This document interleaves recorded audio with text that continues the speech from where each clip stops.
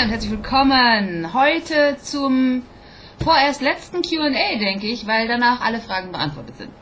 Ähm, daher will ich nicht länger zögern. Äh, und ich habe auch ähm, wieder nur einen Fragesteller, der jetzt hier alle Fragesteller, aber es stellt sehr viele, also hoffe ich, dass die anderen auch was davon haben. Äh, die Fragen kommen von Fall into Madness Mango. Und zwar, erstens, also falls du noch ein weiteres QA soll, machen solltest oder vielleicht auch hier beantworten möchtest, erstens, wie oft machst du Sport und wie lange? Ich mache Sport ungefähr dreimal die Woche, meistens 30 Minuten, weil ich länger einfach mittlerweile die Zeit nicht finde und weil ich auch nicht Drang habe, mehr Sport zu machen, um mehr abzunehmen, weil das sowieso nicht funktioniert. Und weil das keine Priorität mehr von mir ist. Zweitens, warum bist du gegen intermittierendes Fasten? Dr. Greger hält auch viel davon. Oder glaubst du eher, dass Leute wie zum Beispiel Lars von Rohe Energie oder Lea Loves Lifting nur damit ihre Essstörung kaschieren wollen und von einer Diät in die nächste springen, um vom eigentlichen Problem abzulenken? Das ist eine schwere Frage. Also zumindest der erste, nein, der zweite Teil ist eine schwere Frage. Der erste, ich habe einen ähm, äh, Blogbeitrag, den ich auch gerne nochmal unten drunter verlinke, zum Thema intermittierendes Fasten geschrieben und warum ich das für, ähm, warum ich da nichts von halte. Also das bringt einfach nicht viel. Ich frage mich, was die Leute von intermittierendem Fasten wollen, wobei ich habe eine Theorie, was die wollen. Aber was Heilungsprozesse im Körper angeht, bringt intermittierendes Fasten einfach kaum irgendwas. Wenn ihr die Vorteile des Fastens genießen wollt, dann fastet. Richtig. Intermittierendes Fasten führt euch da nicht weiter. Wobei intermittierendes Fasten hilft, und da bin ich auch bei Lars und bei Lea, äh, ist äh, eine Kontrolle auszuüben über das, was man isst. So. Ähm, und warum will jemand Kontrolle über, äh, über das ausüben, was er isst? Weil ihm die Kontrolle flöten gegangen ist oder abhanden gekommen ist. Er, er fühlt sich, er hat das Gefühl von Kontrollverlust, wenn er anfängt zu essen, äh, weil er dann zu viel isst oder mehr isst, als er braucht, um sein Traumbody zu haben.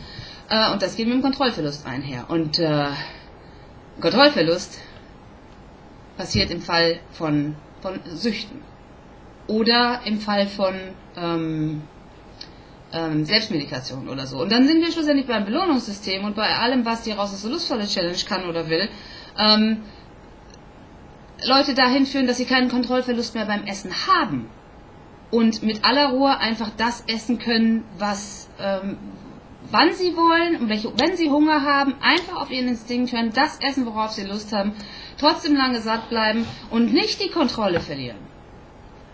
Ähm, und die Kontrolle über Essen sollen ja auch Diäten schlussendlich steuern. Und das alles funktioniert nicht.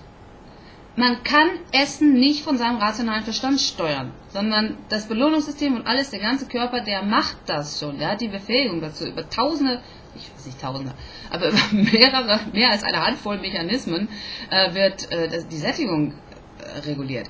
Und ähm, wenn man Kontrollverlust erlebt und das rational korrigieren will, also gegensteuernde Maßnahmen anwendet, sind wir bei einer Bulimie. Schlussendlich, die sich definiert über die gegensteuernden Maßnahmen gegen das zu viel, was man isst. Und ja, dann bin ich dabei, dass äh, Lars und Lea Lea hat es mehrfach gesagt, Lars weiß ich nicht, äh, eine Essstörung haben, weil sie einen Kontrollverlust erleiden, wenn sie essen. Und wenn sie dagegen steuernde Maßnahmen anwenden, dann würde man das ähm, diagnostisch zur, in die Bulimie, also in die atypische Bulimie einsortieren, ohne Purging, also ohne Kotzen.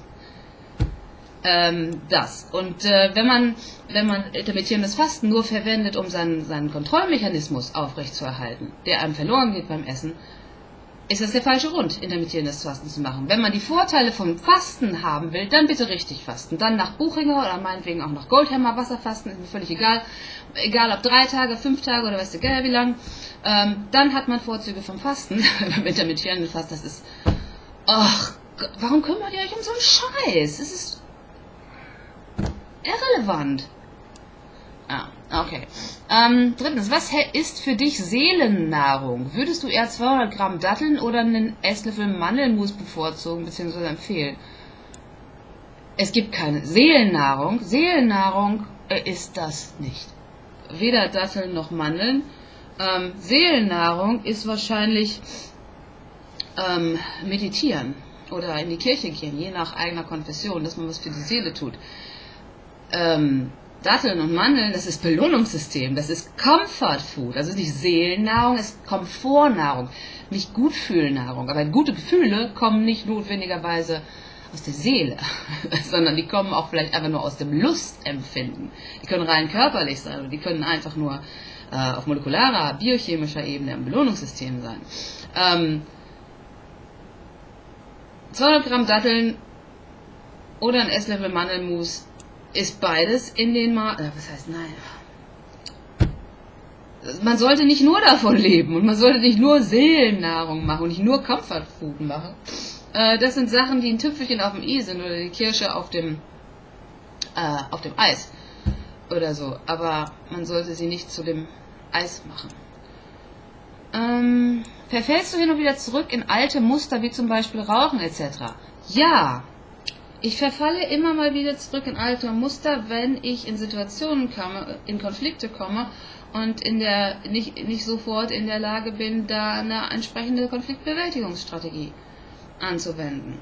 Ähm, das passiert, wenn, keine Ahnung, schlagartig große Trauer kommt oder schlagartig großer Stress oder äh, irgendeine Überforderung. Das kann durchaus sein, dass ich im totalen Stress oder nach einem Streit oder sowas ähm, von irgendjemandem auf der Straße eine Zigarette schnorre. weil, die, weil die schlechte Gefühle wegmacht. Das ist Seelen. Ähm, eine Seelensubstanz, genau. Nee, die aktiviert das Belohnungssystem und dann macht, macht dass man sich gut fühlt. Äh, ja, das passiert. Ähm, meine Strategie ist dann schlussendlich zu versuchen, dass ich in, in keine sich unwohl anfühlenden Situationen mehr komme, dass ich die vermeide. Dass ich mich nicht in Situationen begebe, wo ich mich unsicher fühle. Dass ich Leuten aus dem Weg gehe, die mich verunsichern und solche Sachen. Das ist mit Sicherheit nicht die beste Lösung, denn eigentlich sollte ich einen besseren Konfliktbewältigungsmechanismus lernen irgendwann mal und nicht den selben Mechanismus, den ich nutzt, nutzen, den ich die letzten 30 Jahre genutzt habe, äh, der auch zu einem Kontrollverlust führt. Dann übrigens. Weil es über das Belohnungssystem geht. Ähm, ja, und ich habe das Problem noch nicht, noch nicht schlussendlich komplett äh, gelöst dass ich manchmal zu viel Alkohol trinke, dass ich gelegentlich zu und eine Zigarette schnorre. Äh, oder dass ich äh, Schokolade kaufe. Aber das passiert nicht oft. Also das passiert je nach Substanz zwei bis fünf Mal im Jahr, würde ich sagen. Ähm, wie stehst du zu Dr. Berg hier auf YouTube, der viel Tierprodukte empfiehlt oder, und eher in Richtung ketogene Diät geht? Aber doch recht plausibel und auch meist wissenschaftlich belegte Videos abdreht. Oder wieder nur der nächste Low Carb Guru. Ich kenne Dr. Berg nicht und mich interessieren auch alle Leute, die viel tierische Produkte empfehlen. Nicht, weil ich weiß, dass die nicht gesundheitsförderlich sind. In keinster Weise.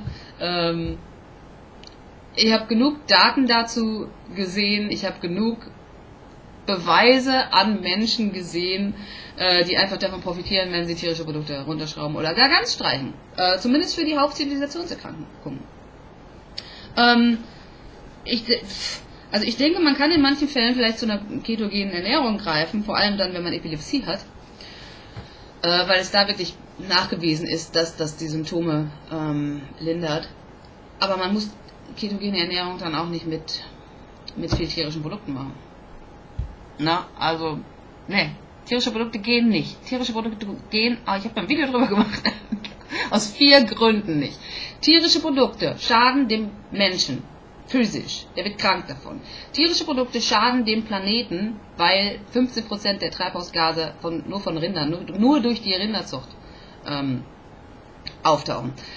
Tierische Produkte schaden dem Tier, das mit Sicherheit nicht tot sein will, sondern eigentlich auch ne, amüsantes, spaßiges Leben haben will. Tierische Produkte schaden der Schulmedizin und der Wirkungsweise von Antibiotika, weil dadurch mehr Resistenzen kommen. Und wir können dann nicht mehr die ehemals tödlichen Krankheiten, an denen wir alle gestorben sind, die wir jetzt mit Antibiotika bekämpft haben, wir können die dann nicht mehr eindämmen. Das könnte ein Riesenproblem werden. Also tierische Produkte weg. Wer ketogen leben will, kann für gewisse Sachen von Vorteil sein. Ja, der kann das auch vegan machen. Ähm, ja, Glaubst du, dass Kinder bestimmte Süchte ihrer Eltern erben können, beziehungsweise mit in die Wiege gelegt bekommen? Alkohol, äh, Rauchen, Zucker, Drogen etc. Ich glaube, dass man genetisch zu wenig Rezeptoren für Serotonin, Dopamin oder sonstige Sachen haben kann. Ähm, das wurde zumindest bei Diabetikern, bei Typ 2 Diabetikern schon mal überprüft, weil man sich gefragt hat, warum essen die eigentlich so viel? Warum essen sie mehr als sie brauchen? Und die meisten, äh, also ein Großteil dieser Typ 2 Diabetiker waren tatsächlich mit so wenig Dopaminrezeptoren ausgestattet. Wobei man dann ja nicht weiß, kommt das jetzt daher, weil die so viel essen und so viel Dopamin ausschütten, sodass der, der Körper die Anzahl der Rezeptoren runterreguliert, oder ob die von vornherein schon genetisch zu wenig Dopaminrezeptoren haben. Ähm, oder vielleicht auch beides. Menschen mit no zu wenig Dopaminrezeptoren kommen eigentlich in unserer Welt nicht schlechter zurecht, aber die reagieren dann eben noch intensiver auf die Substanzen, die es halt eben gibt, die wir künstlich erfunden haben, um das Belohnungssystem zu aktivieren. Ähm, was anderes ist es dann nochmal, wenn die Mutter, sagen wir, ähm, keine Ahnung, was, irgendwie irgendein Rauschgift genommen hat, gekokst hat oder, oder ähm, Heroin gespritzt hat oder sowas in der Art und das auch gemacht hat, während sie schwanger war, dann ist das Kind automatisch mitsüchtig. Und ähm, nach der, na, wenn, wenn jetzt so eine Mutter auf die Idee kommt, dann zum Beispiel zu sagen, ich steige daraus aus, ich mache jetzt ein Methadon-Programm, ähm, dann bleibt das Kind gleichzeitig mit der Mutter auch weiterhin, also wenn es, wenn es im Bauch ist, ähm, Methadon abhängig. Und wenn das Kind dann auf der Welt ist, muss das Kind auch dem Methadon entwöhnt werden.